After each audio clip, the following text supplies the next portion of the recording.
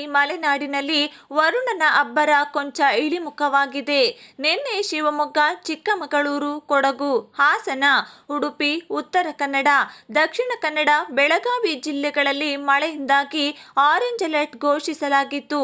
ಇಂದು ಈ ಜಿಲ್ಲೆಗಳಲ್ಲಿ ಸಾಧಾರಣ ಮಳೆ ಮುಂದುವರಿಯಲಿದೆ. ಹೀಗಾಗಿ ಶುಕ್ರವಾರದವರೆಗೆ ಈ ಎಂಟು ಜಿಲ್ಲೆಗಳಲ್ಲಿ ಹಳದಿ ಅಲರ್ಟ್ ಘೋಷಿಸಲಾಗಿದೆ.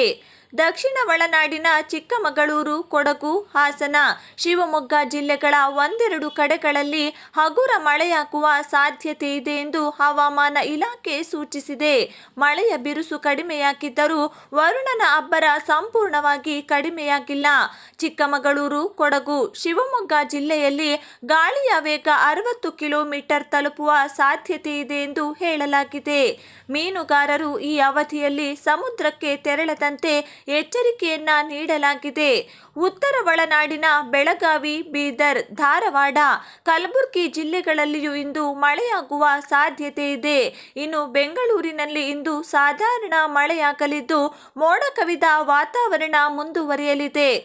ದಕ್ಷಿಣ ರಾಜ್ಯದ ಕರಾವಳಿ ಪ್ರದೇಶಗಳಲ್ಲಿ ಭಾರಿ ಮಳೆಯ ಹಿನ್ನೆಲೆಯಲ್ಲಿ ಇನ್ನು ಮೂವರು ಸಾವನ್ನಪ್ಪಿದ್ದಾರೆ. ಈ ಮೂಲಕ ಕರ್ನಾಟಕದಲ್ಲಿ ಮಳೆಯಿಂದ ಮೃತಪಟ್ಟವರ ಸಂಖ್ಯೆ ಎಪ್ಪತ್ತಕ್ಕೆ ಏರಿಕೆಯಾಗಿದೆ. ಇಂದು ಯಾವ ರಾಜ್ಯಗಳಲ್ಲಿ ಮಳೆ? ಕರ್ನಾಟಕ ಮಾತ್ರವಲ್ಲದೆ ಇಂದು ಮಧ್ಯಪ್ರದೇಶ, ಗುಜರಾತ್, ಕೇರಳ ಮತ್ತು ಮಾಹೆಯ ಕೆಲವು ಪ್ರದೇಶಗಳಲ್ಲಿ ಗುಡುಗು ಸಹಿತ ಭಾರೀ ಮಳೆಯಾಗುವ ಸಾಧ್ಯತೆ ಇದೆ. ಪಶ್ಚಿಮ ಬಂಗಾಳ, ಒಡಿಶಾ, ಜಾರ್ಖಂಡ್, ರಾಜಸ್ಥಾನ, ಕೊಂಕಣ, ಗೋವಾ, ಮಹಾರಾಷ್ಟ್ರ ಮತ್ತು ವಿದರ್ಭದಲ್ಲಿ ಭಾರೀ ಮಳೆಯಾಗಲಿದೆ.